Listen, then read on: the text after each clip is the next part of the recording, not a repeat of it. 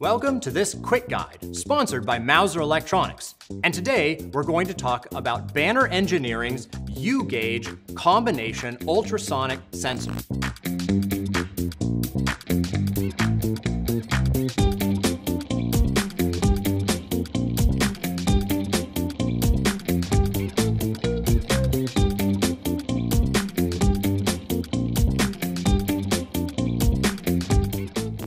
The most fundamental but most important parts of control system automation is sensing. We need to be able to track where an object is at any point in its progress through the automation system in manufacturing or processes to make sure that it's accomplishing each step properly. There are two basic ways that we can accomplish sensing. The first is by checking to see whether an object exists in front of the sensor or not. This is yes or no information, and we usually refer to that as digital or discrete signaling. There's another type of sensor that's a bit more complicated, and that gives us the distance between the object and the sensor. It's a variable piece of information that we refer to as analog. An analog is a very common way to get a little bit more information about your system than just that yes or no answer alone. But wouldn't it be nice if there were some sensors that could provide both a digital and an analog output depending on our needs for our particular scenario? Fortunately, there are. This sensor works on the principle of sound, as the word sonic in ultrasonic implies. Ultrasonic sensors send out a sound wave and it bounces back. This is a high frequency pulse of sound waves that can be heard as a clicking noise, somewhat like a bat using echolocation to sense a moving object for its food. The speed of the sound pulse and the time it takes for that sound pulse to come back to the sensor can provide us a distance. Since this sensor is a combination of both analog and digital, we can set the threshold of the time it takes for that object to bounce the sound back to the sensor. But if we want information that tells us how far away it is, the sensor simply measures the amount of time and returns back the distance as a voltage or an analog value. For this particular sensor, the analog value is between 4 and 20 milliamps, a very common industry standard known as current output analog sensing. There are a few situations in which ultrasonic sensors hold some distinct advantages over photoelectric sensors, which are a bit more common. Photoelectric sensors use light, so we can think of a few objects that might be fooled by light, such as a sheet of glass, completely transparent. An optical sensor may not detect that a glass sheet has gone by, but an ultrasonic sensor with sound waves bouncing off of that sheet of glass certainly will be able to detect that presence. Liquid is another common scenario. While optical sensors may change, the light is still reflected through the liquid medium, while the sound waves bounce off of the surface. Now, there are also some scenarios where an ultrasonic sensor may not be the preferred ideal sensor to use, particularly soft objects. So objects that are very soft tend to diffuse the sound rather than reflect it back. While this is great for insulation, if you're creating a soundproof environment for sensing, that's not what we want if our goal is to get that sound to reflect. That's not the goal if what we want is the sound to be reflected back to the sensor. Since this sensor has both analog and discrete outputs, we have to be able to examine the wiring for this sensor to be able to properly install it into a system. We're going to take a look at a demonstration of this sensor being installed into a system here in just a moment.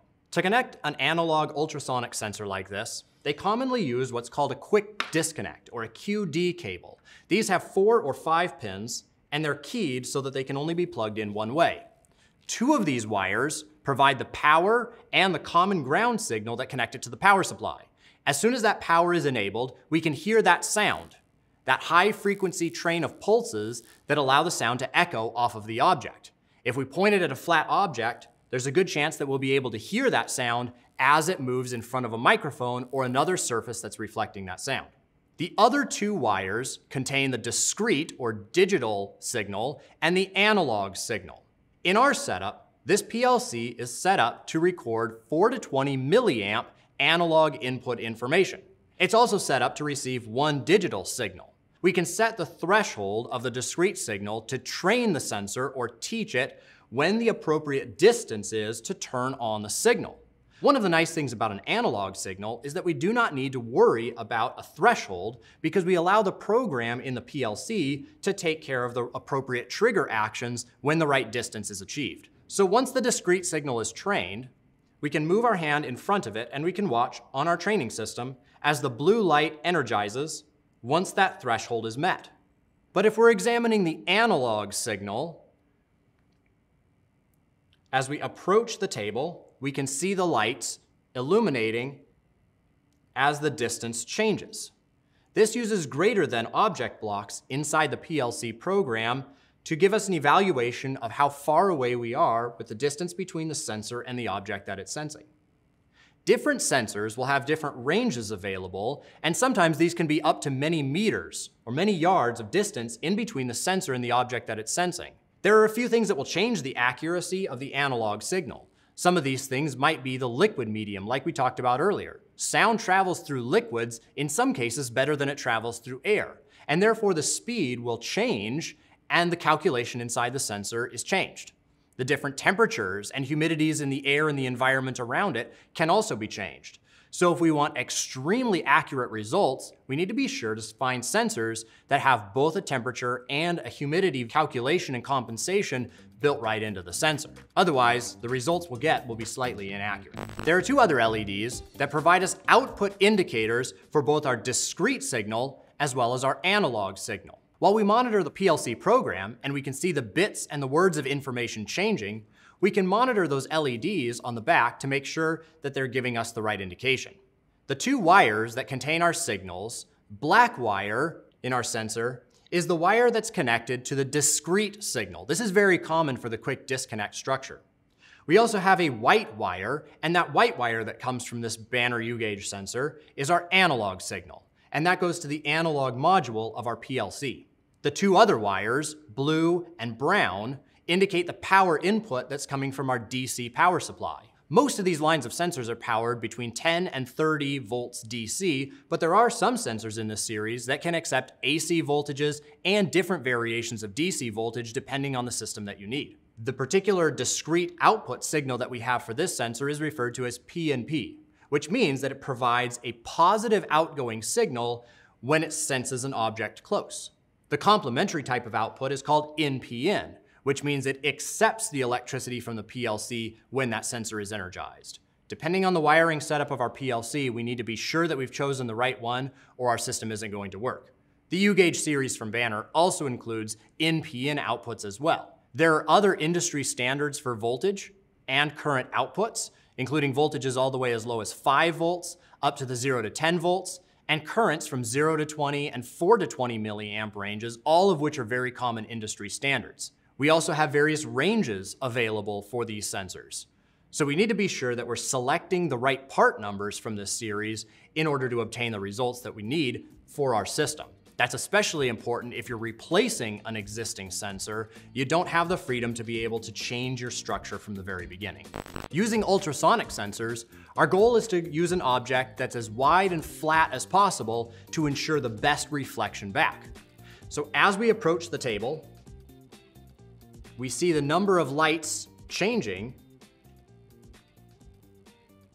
in order, but if I change the angle and move back and forth, I do not see the reflection as accurately. This gives us a good example of some of the disadvantages of systems that you're using ultrasonic sensors. I can use my hand and we can see the same results. Increasing the distance increases the number of lights that are on. But if I use an object that is soft, I'll get no reflection no matter how far away I am from the object at all. Using a large flat object parallel to the sensor is the best way that we can ensure accurate reflection. Curved objects are also another disadvantage, since sound waves bounce off of the curves and do not reflect back. The concave or convex nature of the curve can also completely change the behavior of the sound. That's something we need to keep in mind if we're deciding between photoelectric sensors or between ultrasonic sensors. Color is another one of those properties that won't change how the ultrasonic sensor sees an object, but it'll certainly change how an optical sensor sees the object. So there's a lot of factors that would force a choice between different types of proximity sensing. From both of these kinds of sensors, we can get both the discrete on-off signal behavior, and we can also get the analog variable signal behavior, and we can find sensors that can provide PNP or NPN discrete outputs, or both current or voltage outputs. So while the signal isn't a problem, it's the system and the type of object that we're trying to detect that really makes a difference as to what kind of sensor we choose.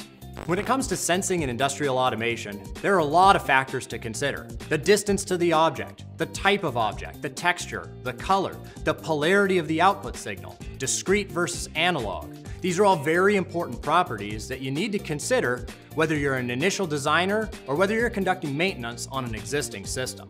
If you want more information about this Banner Engineering U-Gage sensor or other industrial automation components, please visit Mouser.com and you'll find the tools that you need to get started on your own industrial automation projects today.